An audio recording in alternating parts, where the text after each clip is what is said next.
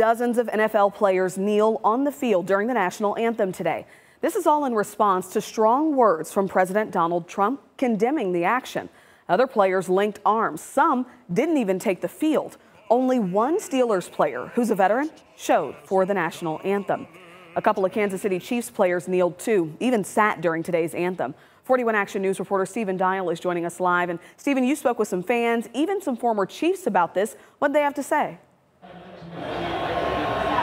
Well, Dia, first and foremost, the President of the United States just arrived at the White House. He says that his anger is not about race. It's about respect for our country. You're right. I talked to many Chiefs fans today and some former players, and they all say that people should have their own opinion. Wouldn't you love to see one of these NFL owners, when somebody disrespects our flag, to say, get that son of a off the field right now. This comment from President Trump created a firestorm reaction on social media. He criticized NFL athletes for taking a knee during the national anthem. There are a lot of people that feel you should stand, and they're, they're not shying away from it. So I think it's been a very combustible morning uh, for the NFL.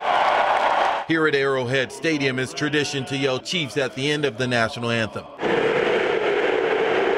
Sunday, players, coaches, and owners from around the NFL stood against the president's comments. They've got to run the football effectively. Marc Boerigter is a former Chiefs wide receiver. As I stand for the national anthem, I think most people should stand for the national anthem, but I think we also live in a country where I fully respect an individual's right to, to do what they want to do. Chief CEO Clark Hunt sent a statement saying that he believes in, quote, honoring the American flag and supporting all those whose sacrifices protect the many freedoms we have in this country including the right to have difference of opinions. We asked Chiefs fans about what they think about players not standing for the national anthem. I get people saying that they want people to support or like to stand for the flag and, and, the, and all that.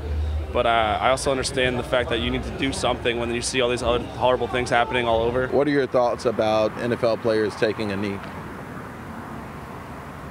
There's my thoughts. Uh, I mean, obviously Marcus Peters is a tremendous player. You know, one of the best young rookies we got.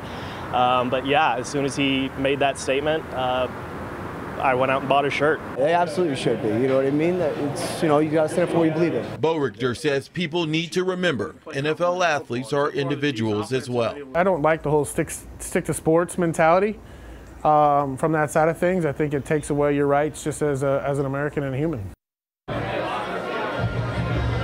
It will be interesting to see when the Chiefs have a home game hosting the Redskins on Monday night, next Monday, October 2nd. It'll be interesting to see if any players continue with this protest. Reporting live at the Ale House in Westport, Stephen Dial, 41 Action News.